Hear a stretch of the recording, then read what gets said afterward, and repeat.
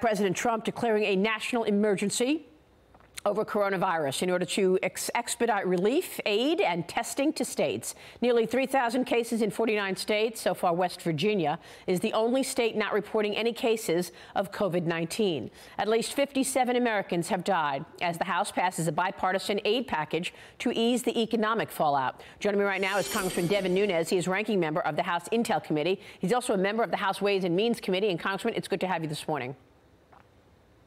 Great to be with you, Maria. Thank I want, you. I want to get into really your investigation into China, which goes back years, which you, you and I have spoken about in the past. But first, give us your take on uh, the, the administration's response to coronavirus.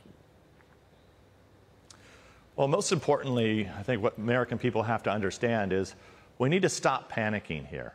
Okay, there's no there's no shortage of food in this country. Uh, people don't need to go to the store and fight over bottled water or toilet paper. Uh, I come from the breadbasket of the world, right here in the San Joaquin Valley. Uh, we want people to go out and buy food, but there's no shortage of food. The, the main thing that people need to focus on, it's, it's just a couple issues. Number one, if you're sick at all, be smart. Stay away from people. Number two, if you know someone that is senior or, or, if you have an underlying health condition, especially with your lungs, you are at high risk.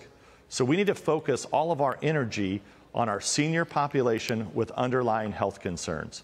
There is no reason, Maria, for the American people to be running uh, to the grocery store to buy 27 packs of, of toilet paper. Okay? There's no shortage of toilet paper, no shortage, no shortage of food. Okay, and that's yeah. coming from someone who we want you to buy food. Okay, right, right. I understand. And, and, and I'll just say this too. Uh, I, will just say this too. Uh, you know, you were just talking about the economy, mm. and, and there's a lot of concerns with the economy here because people are scared to go out. Uh, but I will just say, one of the things you can do if you're healthy, uh, you and your family, it's a great time to just go out, go to a local restaurant. Yeah. Likely you can get in, get in easily. There's, you know, let's not hurt uh, the working people in this country that are relying on wages and tips to keep their small business going. You know, going. we're very so sympathetic. Don't run to the don't run to the Understood. Yeah, just don't run to the grocery store and buy buy you know four thousand dollars of food. Right, they're cleaning go, off the you know, shelves. Go to your local uh, local pub. We want yeah. to be very sympathetic to what's going on, particularly because it started in Wuhan, China. But why is it that so many of these diseases, these sicknesses, originate in China? What what is the issue there? Well, as you know, we've been looking at China for, for a very long time, the Republicans on the House Intelligence Committee. And we're actually building legislation now that's based off of our investigation that we've been conducting for a while. So, look, uh, the Chinese, they're a communist dictatorship. And I would just say it's probably as easy as this to understand.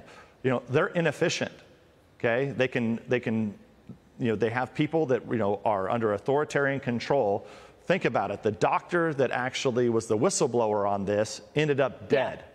Okay? And if you look back to what the Chinese did, you know, back in, they probably had this in, in the late fall, yeah. especially early winter.